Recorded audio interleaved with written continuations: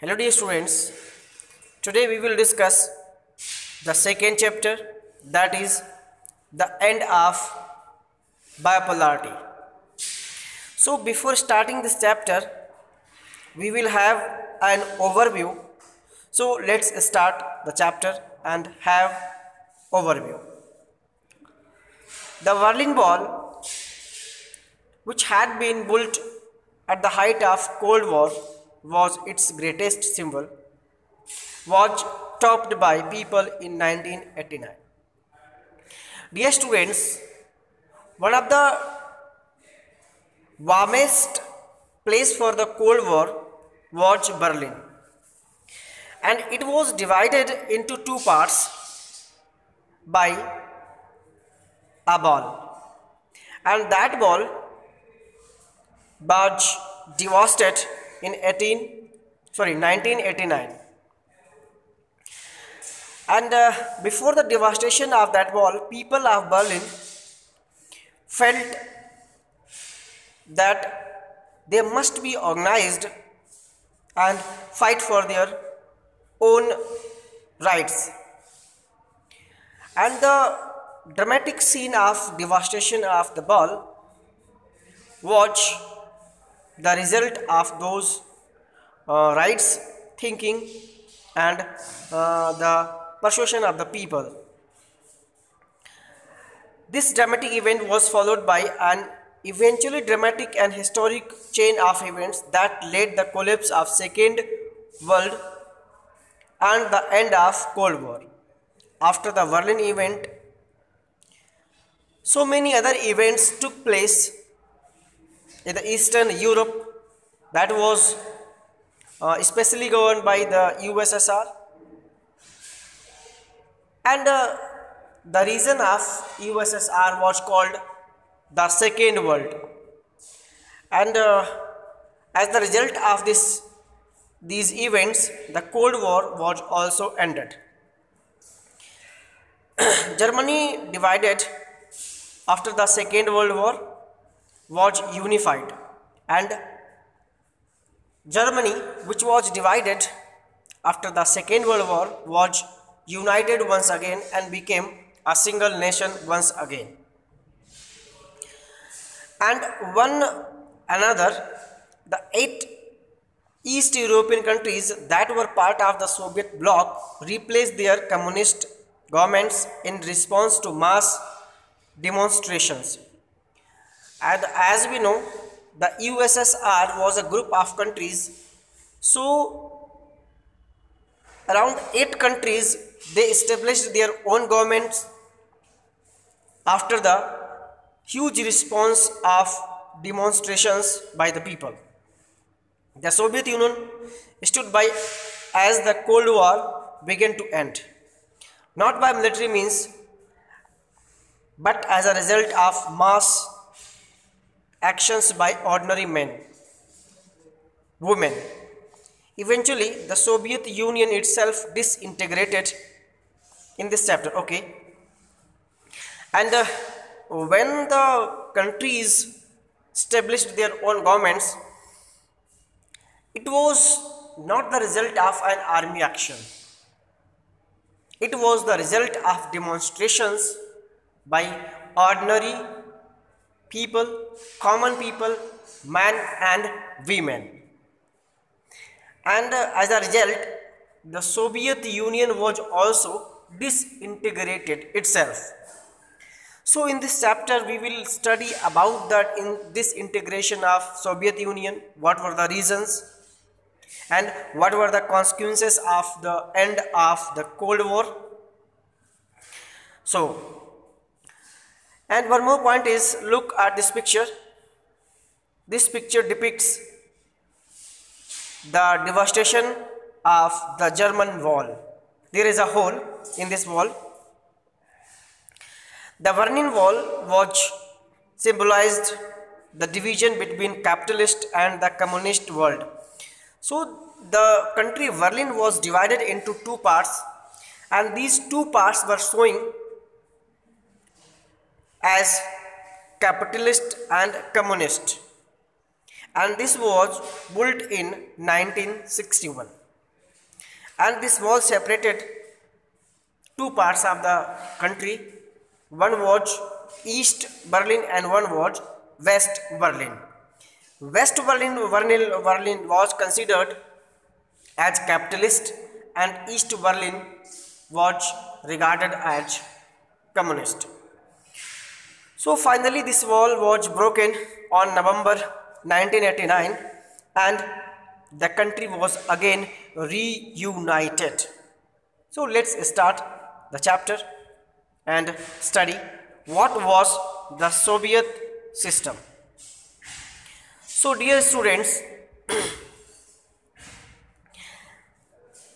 as we know Soviet Union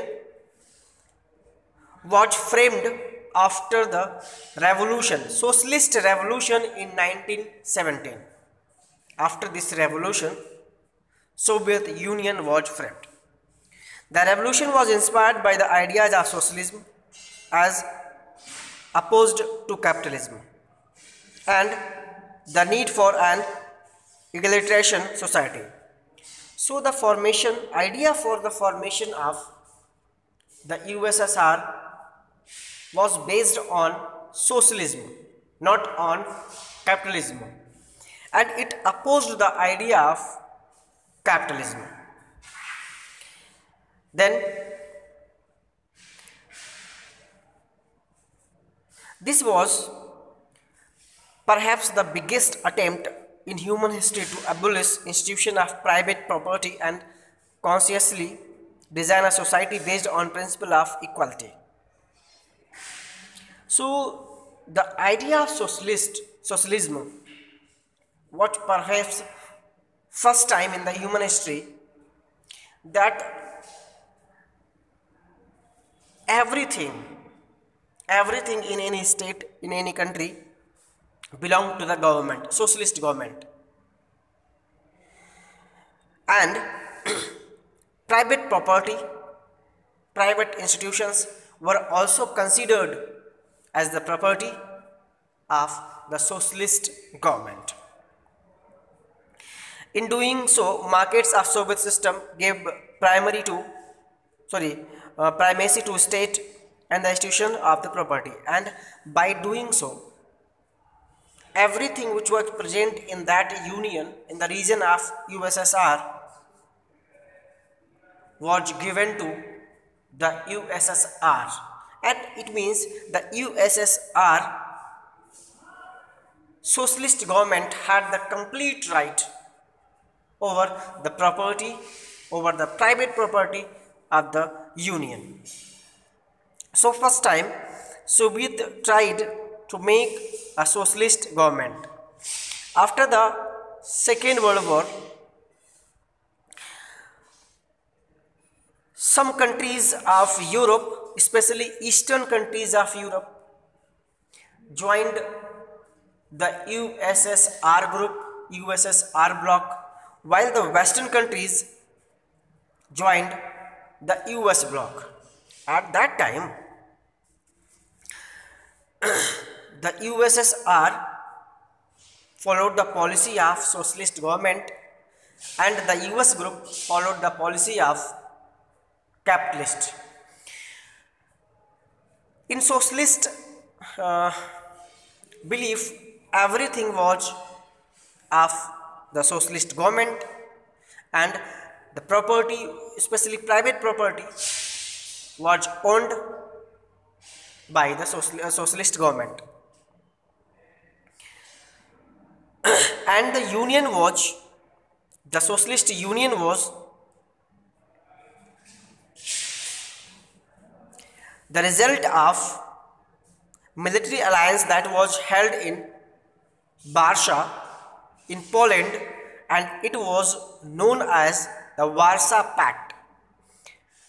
And the USSR was the leader of the bloc and the Warsaw Pact made the USSR the leader of that bloc. The Soviet Union at that time after Warsaw Pact became the most powerful sorry uh, very powerful though not so much as uh, the US but became very powerful in that region and it followed the socialist ideas. The USSR had the enough resources, machinery production, transport sectors and connectivity. The USSR was able to produce everything for transportation from uh, for uh, from uh, single thing to different things they also introduced introduced some best policies for general people as policy for the health of the people. Policy for the uh, child care policy. Or some education policies also. They all these policies were introduced by the socialist government of USSR but slowly and slowly the USSR turned into a highly bureaucratic country that is why the people of USSR started suffering from day to day life and the result was the people of uh, USSR were filled with anger.